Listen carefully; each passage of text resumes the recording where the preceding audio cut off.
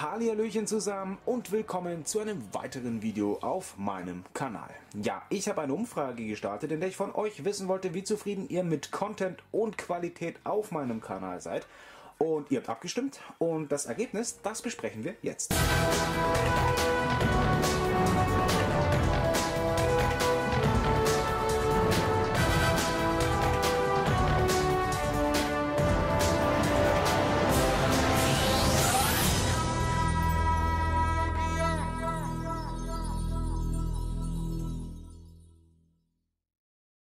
liebe Freunde, dieses Video fällt wohl etwas aus dem Rahmen. Das heißt, es wird in keiner Playlist zu finden sein und irgendwann äh, in den tiefen Weiten meiner Videos äh, sozusagen verschwinden und verschollen gehen.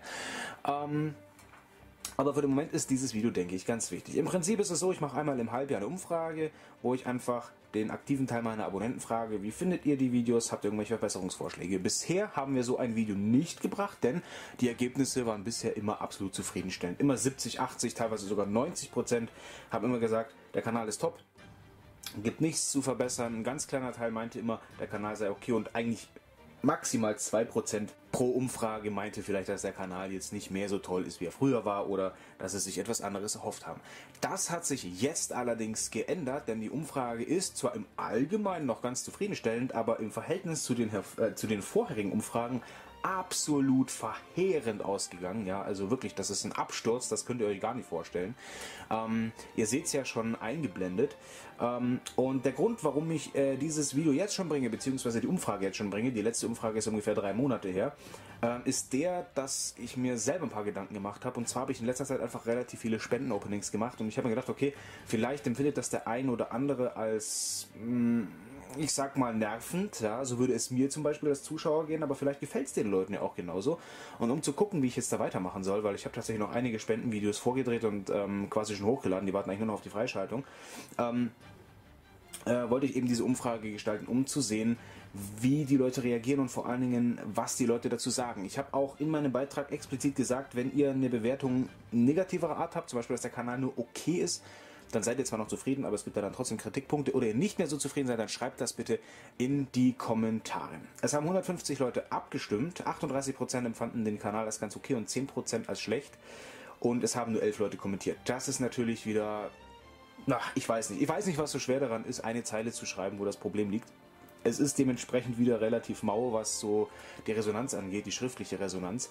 Ähm, das heißt, ich muss jetzt halt mit den elf Leuten arbeiten, die hier kommentiert haben. Wir werden uns auch gleich die ganzen Kommentare durchgucken und ich werde jeden einzelnen Kommentar beantworten, aber wir gucken uns jetzt nochmal ganz von vorne die Umfrage an und wie sie gelaufen ist. Wie bereits gesagt, die vorherigen Umfragen waren immer relativ gut, 70, 80, teilweise 90 Prozent waren immer absolut zufrieden. Das sind jetzt nur noch 52 Prozent, also knapp über die Hälfte der ähm, aktiven Zuschauer. Also man muss natürlich sagen, 150 Stimmen von 2500 Zuschauern ist ja nichts. Das ist, glaube ich, unter 3%, wenn mich nicht alles täuscht, oder unter 4%.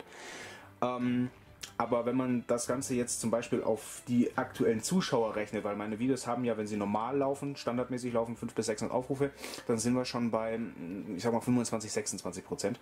Ähm, wenn nicht gar 30 Prozent, das ist bloß ein Schätzwert. Und damit kann man dann natürlich schon wesentlich mehr arbeiten. So, jetzt haben wir also die Umfrage gewertet. Nochmal 52% sind absolut zufrieden, 38% sagen, der Kanal ist ganz okay und 10% ist bisher der höchste Wert, sagen, sie sind mit dem Kanal nicht mehr zufrieden. Und da habe ich mir schon gedacht, oh oh, da kann irgendwas nicht wirklich stimmen. Und äh, das hat sich dann auch in den Kommentaren niedergeschlagen. Und die Kommentare werden wir jetzt einzeln durchgehen und die werden auch einzeln ganz genau von mir beantwortet. Christian schreibt, eigentlich ganz nice, aber ich vermisse ein bisschen die Neuzugänge. Dürften auch OCG-Karten dabei sein. Da kann ich dich beruhigen, lieber Christian. Es sind gerade zwei Folgen abgedreht worden. Also der Rohschnitt die ähm, Close-Ups bzw. Beauty-Shots, die müssen noch vollkommen gedreht werden, das Video muss noch geschnitten werden, überarbeitet werden. Also ich habe bisher nur das Rohmaterial gedreht von diesen beiden Folgen. Eine geplante Folge musste ich ausfallen lassen. Das war eigentlich eine Folge, wo ich mir halt ein bisschen Ignition Assault Stuff rangeholt habe, aber das empfinde ich jetzt gerade nicht als so relevant. Ähm, und dann kommt auch noch eine richtig, richtig schöne urzige Folge. Da warte ich aber noch auf Karten, die aktuell beim Zoll oder bei der Post liegen. Ich habe das über den Felix bestellt. Der hat aber gemeint, die Post hätte gesagt, es kommt diese Woche. Also wer weiß, ne? aber sei beruhigt, da kommt auf jeden Fall einiges und auch, ähm, ich glaube, letzte Woche kam eine ganz, ganz tolle Folge oder sogar zwei, wenn mich nicht alles, nee, nee, eine kam erst, die andere ist noch gar nicht hochgeladen worden. Also eine Folge kam auf jeden Fall. Und damit komme ich ja auch noch was von Rising Time, wenn mich nicht alles täuscht. Das wird auch nochmal eine schöne Folge Neuzugänge. Also es, da kommen in nächster Zeit wieder wirklich einige schöne Sachen auf dich zu. Dann haben wir den nächsten Kommentator. At, äh, was? Atizor Knsnbrk. Okay, kann kein Mensch aussprechen. Es sind mir persönlich deutlich zu viele Spendenvideos. Und da muss ich natürlich gleich einhaken, denn das war ja ursprünglich auch der Beweggrund, wo ich gesagt habe, okay, vielleicht nervt es ja die Zuschauer. Das hat man auch an den Aufrufzahlen gemerkt. Die Aufrufzahlen sind wirklich pro Video immer weiter abgesunken. Ähm, ich glaube, das letzte Video, Spendenvideo, also ich muss mal wieder gucken, wie viel es aktuell hat, aber als ich das letzte Mal nachgesehen habe, hat das, glaube ich, 270 Aufrufe. Das ist selbst für meine Verhältnisse mittlerweile richtig, richtig schlecht. Und ähm, ja, da habe ich mir natürlich meine Gedanken gemacht. Deswegen habe ich diesen, diese, diese Umfrage auch schon vorgezogen, weil sonst hätte ich jetzt drei Monate so weitergemacht. Das hätte mich Abonnenten gekostet. Ähm, hat es mich auch schon. Ich habe aktuell ein, äh, 2467 vor drei Tagen hatte ich noch ähm, über, also über 70 quasi, 75, also 1275, also das sind wirklich krass viele Abonnenten abgesprungen auch. Ähm, für meine Verhältnisse, sage ich mal. In der kurzen Zeit, 10 Stück ungefähr, das ist schon eine Hausnummer, ne? Ähm, und äh, ja, das, wie, wie, bereits gesagt, da, da bin ich äh, auch voll bei dir. Wenn ich jetzt mein Abonnent wäre sozusagen, das würde mich auch nerven. Und das äh, müssen wir auf jeden Fall ändern. Da kommen wir aber am Ende nochmal zu, da unterbreite ich dann vielleicht mal den einen oder anderen Lösungsvorschlag, wird dann aber im Endeffekt nochmal als eigener Community-Beitrag in die Abstimmung gehen. Dann haben wir Marshall666. Ähm, er schreibt, ich würde mir wünschen, dass du mal vielleicht ein paar Videos machst, nur zu bestimmten Themen und aus diesen ein paar Karten vorstellst. Beispielsweise nur Vanilla, Ritual, Synchro, Xyz, Link und so weiter. Oder Deckthemen, Blue Eyes, Blackluster, Stardust und so weiter. Oder Rankinglisten deiner Lieblings-Hass-Artworks. Mir persönlich sind die aktuellen Videos einfach zu unstrukturiert, denn gefühlt sieht man immer dasselbe durcheinander gewürfelte Karten. Ja, zunächst einmal möchte ich sagen, ist eine super Idee, ist wirklich eine klasse Idee mit diesen ähm, Videos, die halt Themen oder einzelne äh, Deckthemen bearbeiten. Ähm, warum nicht? Das lässt sich umsetzen, ist kein Problem. Das werde ich wohl auch zeitnah mal mit, mit einer Sache probieren. Vielleicht fange ich mal mit den alten Kriegern an, die finde ich nämlich aktuell richtig, richtig cool. Ähm, das ist kein Thema. So, sowas hätte ich mir zum Beispiel bei dem Beitrag vor drei Monaten gewünscht. Vor drei Monaten habe ich einen Beitrag geschaltet und habe gesagt, Leute, habt ihr Ideen für ein neues Format vielleicht? Oder irgendwelche, äh, zum Beispiel für die Sammelkartenchecks, was man machen könnte? Resonanz war halt wieder null. Ich hatte genau sechs Kommentare und davon war genau einer zu gebrauchen. Ja, und der ist im Prinzip auch nur mit einer Idee konform gegangen, die ich ohnehin schon hatte. Ja, also ähm, das Problem ist halt, ich gebe als einer der wenigen YouTuber, sage ich mal, tatsächlich so meinen Abonnenten immer mal wieder äh, die Möglichkeit, den Kanal selbst mitzugestalten. Diese Möglichkeit wird in den seltensten Fällen genutzt und dann wird sich darüber beschwert, wenn es nicht so läuft, wie sie sich vorstellen. Ja, und das ist halt äh, schon eine gewisse Problematik. Ähm, da muss ich natürlich auch mich an euch richten und sagen, ihr müsst halt, wenn ihr so einen Beitrag seht, einfach mal euch die Mühe machen, einen Satz zu schreiben. Es ist ein Satz. Ihr müsst keine Memoirien schreiben. Es ist ein Satz. Ja, bestehend aus ein paar simplen Wörtern. Kann ja wohl nicht so schwer sein. Dann äh, der nächste Teil, genau, Rankinglisten, äh, zum Beispiel Lieblings- oder Hass-Artworks. Das würde zum Beispiel gar nicht funktionieren, weil ich habe so viele Artworks, die ich liebe, das, das, also das würde gar nicht gehen. Ja, da würde ich mit 50 gar nicht auskommen. Also ich mag ja die meisten Yu-Gi-Oh! Karten. Es gibt nur ganz wenige, die ich nicht mag. Das heißt, eine Hass-Ranking-Liste würde schon gehen. Aber wir wollen ja nicht zu negativ sein. Ne? Und es ist im Prinzip auch so, dass ich kein Ranking-Typ bin. Also diese ganzen Top 10 und so weiter, das sind so Creep-Fan-Sachen. Da bin ich nicht der Typ für. Wenn du solche Videos magst, dann musst du dich leider an Creep-Fan wenden. Das ist halt wirklich nichts, was auf meinem Kanal zu sehen sein wird. Einfach, weil es auch überhaupt nicht ähm, mit, mit dem Inhalt meines Kanals konform geht. Der Kanal ist im Prinzip eine PR-Plattform für mein Projekt House of Cards für die Ausstellung. Der Kern dieses Kanals sind Mega-Openings und Neuzugänge. Und äh, Nebenformate sind halt einfach so Sachen wie ähm, Expensive Legacy oder auch das immer noch in Bearbeitung befindliche ähm, Format Epic Pictures und so weiter. Ähm, aber sowas wird es bei mir halt nicht geben. Wer schreibt da noch mir persönlich, sind die ganzen aktuellen Videos einfach zu unstrukturiert, denn gefühlt sieht man immer nur dasselbe durcheinander gewürfelte Karten. Ja gut, was soll ich dazu sagen? Im Endeffekt klar, ähm, wenn du jetzt, äh, wenn ich jetzt das umsetze, wie er das so oben gesagt hat, wie er sich das wünscht, was ich auch tun werde relativ zeitnah, dann ähm, ist das auch äh, relativ strukturiert, sage ich mal. Allerdings äh, ist, wie bereits gesagt, der Kern dieses Kanals sind Sammlungsopenings und sind Neuzugänge. Natürlich sind das durcheinander gewürfelte Karten. Da muss ich an der Stelle auch sagen, das war so, ist so und wird auch immer so bleiben. Ja, das, das, wie soll ich das sonst anderweitig großartig kommentieren? Es sind halt einfach durcheinander gewürfelte Karten. Das hat aber nichts damit zu tun, dass etwas unstrukturiert wäre. Die Videos an sich sind sogar äußerst strukturiert aufgebaut. Ich habe meine Abläufe, wie ich das mache, welche Karten jetzt in den Sammlungen drin sind. Da habe ich ja keine Handhabe drüber. Es sei denn, es sind Neuzugänge, weil die Karten kaufe ich mir natürlich gezielt ran. Wenn dich diese Videos natürlich nicht so anprickeln, sage ich mal, dann musst du die halt einfach auslassen an der Stelle. Ähm, und dann eben auf die Sammelkartenchecks warten, weil die sind ja meistens wesentlich themenbasierter und wesentlich strukturierter als der Rest. Gut, dann kommen wir zum äh, nächsten Kommentar von Sao Meister, ein relativ aktiver Zuschauer. Wir haben auch letztens äh, seine Sammlung kommentiert. Und ho, der schreibt ja eine ganze Menge. Hier steht, äh, da ich hier lese, dass die Spendenvideos für den einen oder anderen so viel sind, könnte Haus ja aus dem gesamten äh, Spenden ein langes Video erstellen, die einmal im Monat kommen, äh, sozusagen mehrere Parts, beispielsweise wenn jetzt Spender A vorgestellt wird, anschließend Spender B und danach Spender C. Vielleicht, dass man den Namen dennoch an der Seite einblendet, von denjenigen Spender A bis Spender B dran ist. Denn man genau weiß die ganze Zeit des Videos, wer nun was gespendet hat. War das Deutsch? Naja, egal. Auf jeden Fall, ähm, und wer Haus lange schauen möchte und was braucht, um seine Zeit zu vertreiben, der kann sich denn Stunden anschauen. Äh, hat zwar ebenfalls seine Nachteile, aber so werden diejenigen, denen es nicht gefällt, auch nicht überhäuft mit den Videos und Haus kann trotz dessen jeden Spender in seinen Videos für seine Großzügigkeit danken und auch zugleich ein paar kleine Spenden, die man durchaus nicht zu Gesicht bekommt, ebenfalls einen Platz in seinem Video verschaffen. Das ist ein Kommentar, den würde ich gerne überspringen, ähm, denn das werde ich dann am Ende nochmal, äh, darauf werde ich dann am Ende nochmal eingehen, wenn wir uns über alternative Upload-Möglichkeiten bezüglich der Spendenvideos unterhalten, beziehungsweise wenn wir darüber sprechen, wie wir das im Allgemeinen in Zukunft damit äh, handhaben wollen. Der nächste Kommentar ist von Amix420. Viel zu viele Spendenvideos. Ich weiß, dass die Spender einen super Beitrag leisten und man auch Dankbarkeit zeigen sollte bei diesen echt niceen Spenden. Aber mein Geschmack trifft es nicht.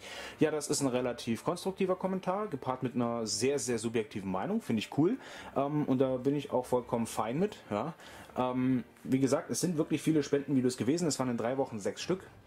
Das ist schon verhältnismäßig viel, wobei ich sagen muss, das Problem ist eigentlich nicht, dass es sechs Stück waren, sondern dass halt wirklich fast nichts dazwischen geworfen wurde. Ich glaube insgesamt, was kam dazwischen? Äh, eine kommentierte Sammlung, zwei ähm, Sammelkartenchecks und ich glaube eine Neuzugängenfolge, also vier Videos, die vielleicht dazwischen waren. Das ist vielleicht ein bisschen wenig gewesen, das heißt, die Videos sind halt einfach zu eng aneinander gewesen. Ähm, da bin ich vollkommen, also äh, stehe ich absolut hinter der Aussage. Dementsprechend können wir die an der Stelle auch relativ unkommentiert abhaken, weil ich dazu einfach nur Amen sagen kann. Dann haben wir Richard Bucker, der schreibt, finde deinen Kanal klasse. Ich sage Dankeschön. Und das bringt uns auch gleich zum nächsten Kommentar, nämlich zu Heftum. Er schreibt, ich tendiere zwischen der ersten und der zweiten Auswahlmöglichkeit hin und her. Ich mag viele deiner Videos aufgrund ihres Bezugs zu sehr alten Karten und der auf mich detailreich und liebevoll wirkenden Struktur sehr gern. Andererseits könnte der Bezug nach meinem Geschmack noch stärker auf alten Karten liegen. Bevorzugt Karten aus dem früheren OCG im ursprünglichen Layout. Hier ist es natürlich so auch schöner konstruktiver äh, Kommentar, schöne konstruktive Kritik. Das Problem ist, mein, Ka mein Kanal, mein, meine Sammlung, meine Ausstellung, die beschäftigt sich nicht nur mit Oldschool-Karten, die beschäftigt sich natürlich auch mit äh, neueren Karten. Und es ist halt einfach speziell in den letzten Jahren so gewesen, wenn man sich mal die Videos von vor zwei, drei Jahren anschaut, da war halt nur Oldschool, Oldschool, Oldschool, Oldschool, nur Oldschool, teure Erstauflagen, teure Oldschool-Sammlung, Oldschool, Oldschool. Es war nur Oldschool. Ab und zu mal was Neues zwischendrin, was Modernes, aber das hat sich wirklich, wirklich hart in Grenzen gehalten. Und jetzt ist halt einfach mal eine Zeit gekommen, wo ich sage, jetzt kommt halt mal etwas Neueres dran. Das Problem bei dem Neuen ist halt nur, dass es halt noch nicht den Nimbus des Besonderen hat, weil es einfach neu ist und der Markt dementsprechend gesättigt ist. Das einzig aktuell wirklich beeindruckende sind die Starlight Rares. Ja, die sind richtig, richtig wertvoll.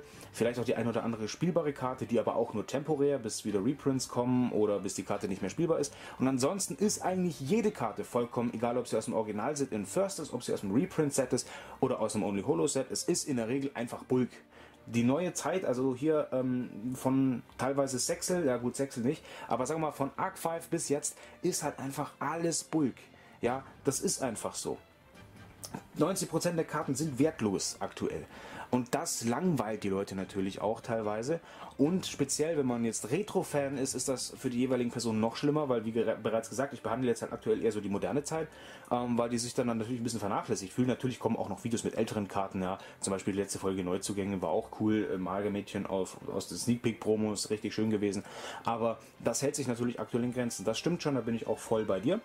Ähm, aber du musst natürlich auch verstehen, dass ich nicht nur Oldschool machen kann. Ja, das geht einfach nicht. Das wäre halt einfach entgegen dem Projekt, weil mein Projekt natürlich auch äh, deshalb besteht, weil ich ja eben will, dass die Leute über den Tellerrand hinausschauen. Sie sollen nicht nur die Spielbarkeit von Karten sehen, sie sollen nicht nur ihre Retro-Brille tragen. Ich will den Leuten natürlich auch zeigen, dass auch modernes schön aussehen kann, auch wenn man damit nicht so viel verbindet wie mit den alten Karten, weil man natürlich nicht mit diesen Karten aufgewachsen ist. Denn wenn wir mal ehrlich sind, Wärst du jetzt mit Link-Monster-Karten aufgewachsen? Ja, nehmen wir mal an, diese Karten wären zuerst da gewesen. Zuerst wäre Reigns gekommen und jetzt würde Dual Monsters kommen.